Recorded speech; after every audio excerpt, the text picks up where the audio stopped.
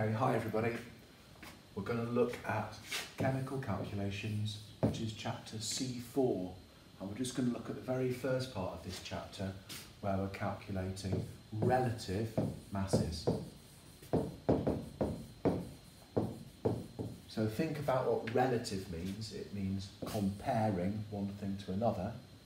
And if we take some examples of atoms, hydrogen, carbon, oxygen, magnesium, each of these elements has a number and a mass number is the big one at the top. Remember they also have a small number which is their number of protons and the position on the periodic table.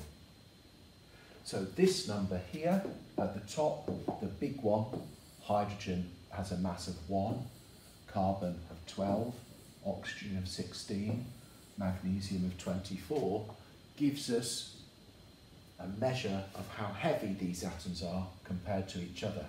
It means, for example, that carbon is 12 times heavier than hydrogen. One atom of carbon would equal 12 atoms of hydrogen in mass. In the same way, one atom of magnesium is the same mass as two atoms of carbon. 2 times 12 makes 24. In the exam, when you see these masses, they're going to be written like this. Relative atomic mass of carbon is 12, of hydrogen is 1, of oxygen is 16, and so on. We can take these individual masses and use them to work out the relative molecular mass of a compound. Let's take a simple compound that you know about, CH4, methane. The question would say, what is the relative molecular mass of methane calculate in this formula there is one carbon and it weighs 12. There are four hydrogens and they weigh one each, four lots of one. And then we've just got to add these numbers together to calculate the total mass. The relative formula mass of methane is 16. There is never any unit.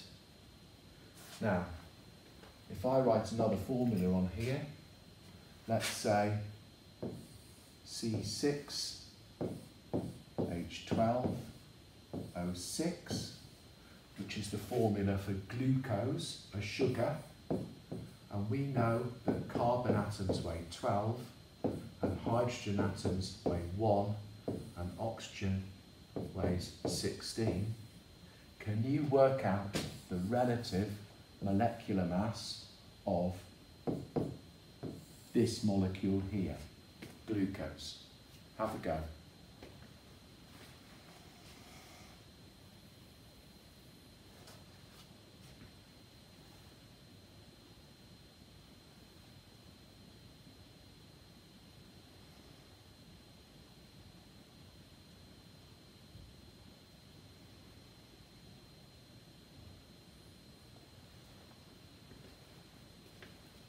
Okay, if you haven't quite done it yet, press pause, because I'm going to go through the answer now. In this molecule, there are six carbons that weigh 12 each.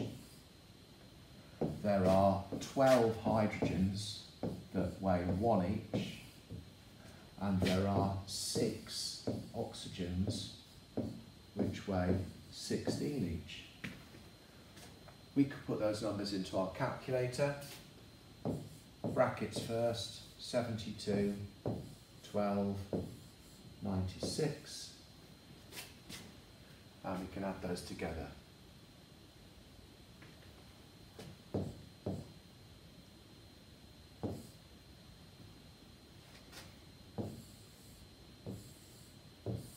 relative formula mass of C6H12O6 glucose is 180. Okay, let's go and have a look at some examples uh, from exam questions, the sort that you might get in your mock.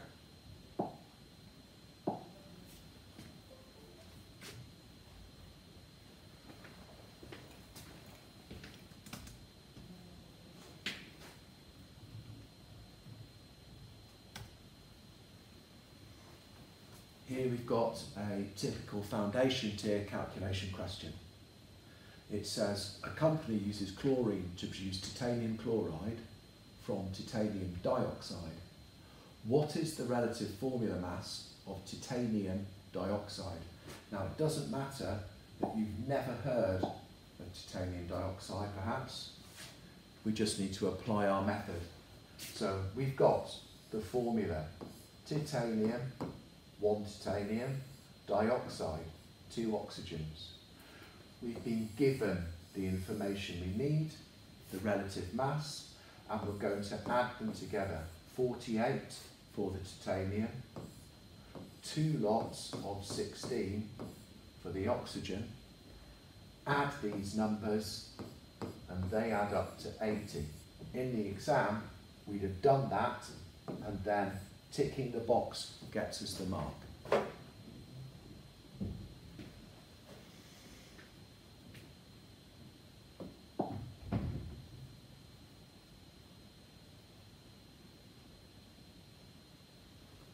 Okay, this time we've got a little bit of a graph and there's some points. The first question simply says draw a line of best fit on the graph and in the exam you would reach for your ruler here because you can say that the trend is straight. It's a linear relationship between the mass of magnesium and the mass of magnesium oxide. We need to get our ruler out and put it on the board and draw the line. I'm just going to draw it freehand. So, with the ruler, we want a straight line that goes through all the points and it looks like it's going to go down through the origin as well. Line of best fit in this case is straight. Okay, next.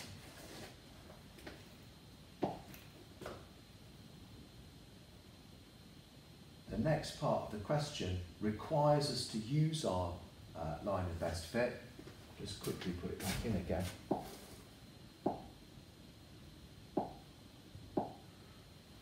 Here's our line. Straight as you can with a ruler. And that says determine, in other words, find out. Use the graph to find the mass of magnesium oxide produced by 8.4 grams of magnesium carbonate. So I'm looking for this value on the x-axis, because there's the magnesium carbonate, and I want to go to 8.4. Look at the scale. 8, that must be 9, 10, 8.2, 4, 6, 8. Every little square is 0 0.2. So I'm going 8.4, which is here. Yeah? In the exam, I can show that I know what I'm doing by putting some dotted lines down here. I know that that's 8.4. I've gone up to my line of best fit. I'm coming across here. I'm reading off this number, 4. 8.4 grams goes to 4 grams. My mass is 4 grams. Next part, calculate. I need to do some maths. I can use a calculator calculate the mass of magnesium oxide produced, there it is, when 168 grams of magnesium carbonate is heated. Look at this bit, use your answer. I need to use my number four to get this answer here. So, we know, looking at this, that 8.4 grams would make 4 grams of magnesium oxide. 8.4 would make 4. And this question is saying, what if you had 168 grams? How much would I get? Your maths teacher would say, we need to know what scale factor I need to increase my numbers by. If I take 168 and I divide it by 8.4, I get an answer of 20. This number, 168, is 20 times bigger than that number. So the number that I want to get here is going to be 20 times bigger here.